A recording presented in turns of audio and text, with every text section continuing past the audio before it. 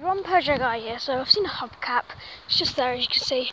Basically, I was coming out from over here. I saw it, so I turned around and basically parked as near as possible to it, which is right here, almost opposite the hubcap. So yeah, I'm gonna. There you go. That was two pictures, I think. Um, so, and then one right here, probably going on my Flickr account, and then one right there. There's a Nissan Micra it's really wet on the back, because it's literally just rained. Also on the front it's pretty wet. Can't really see it in the camera. Um, it's got of chip out the edge.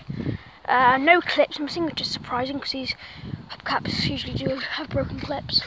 Well, um, because my my cousin Lewis Jones, he's found about eight of these, and about seven out of the eight have lost clips. So, um, I'm actually a really lucky person to find one of these. Nissan, yep. Nissan Micra, I really like it. So uh, yeah, that should be, well that is going to be the end of the video, so yeah. Bye.